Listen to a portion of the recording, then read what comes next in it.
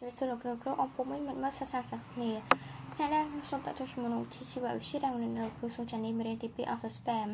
អសស្ប៉ាមគឺជារុក្ខជាតិមានក្រហើយប្ររបស់វាការពារដោយសម្បកអសស្ប៉ាមមានពីរប្រភេទគឺម៉ូណូកូទីលេដូននិងឌីកាទីលេដូន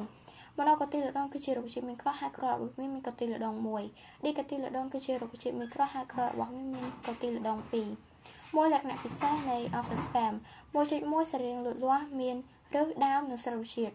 មួយឬមានទីដឹកនាំទឹកនៅអំបិលផ្នែកតាមដើមទៅការស្រោជាតិដើម្បីធ្វើរស្មីសំយោគបង្កើតសារធាតុសរីរាង្គក្លូកូ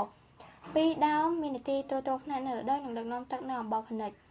ពីរឬទៅការសរុបជាតិដើម្បីបង្កើតសារធាតុសរីរាង្គក្លូកូ3សរុបជាតិគឺជាសរីរាង្គដែលមាននីតិធ្វើរស្មីសំយោគរួចបង្កើតសារធាតុសរីរាង្គក្លូកូ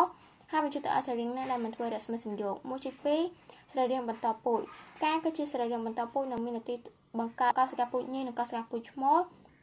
ដើម្បីបង្កកំណាប់រូបគុំផ្កាមានត្របកមានពណ៌ដូចកុសលជាតិនិងមុខខិច្បាស់នៅពេលផ្កាក្រពុំស្រទាប់មានពណ៌ស្រស់ឆាយនិងមានទីតេតទៅនឹងដំណើរលំអងផ្លែលំអងសម្រាប់ទុកក្របលំអងតងកេសរឈ្មោលជាទម្រង់របស់ផ្លែលំអង stigma សម្រាប់ទទួលក្របលំអងក៏កេសរញីជាទម្រង់របស់ stigma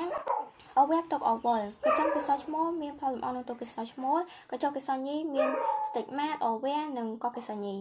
ដំណើរលំអងគឺជាការផ្ទេរក្រលំអងពីផ្លូវលំអងរបស់កញ្ចក់ពិសោឈ្មោះទៅការ stigmat របស់កញ្ចក់ពិសោញីដំណើរលំអងមានពីរប្រភេទគឺ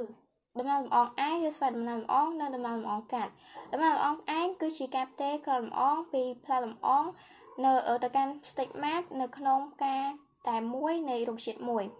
ដំណើរលំអងកាត់គឺជាការផ្ទេរក្រលំអងពីផ្លូវលំអងនៅក្នុងការមួយនៃរុក្ខជាតិមួយទៅកាន់ stigmat នៅក្នុងការមួយទៀតនៃរុក្ខជាតិផ្សេងទៀត។ ក្នុងផ្លែលម្អមានកោសិកាមេច្រើនហើយនៅក្នុងកោសិកាមេនីមួយៗរងមេយកបង្កើតបានស្ពតអាផ្លេត4ក្នុងស្ពតនីមួយៗរងមេតោបង្កើតបានក្របលំអងក្របលំអងខ្ចីមានពីរគឺនវាយុលូតលាស់និងនវាយុបន្តពូជ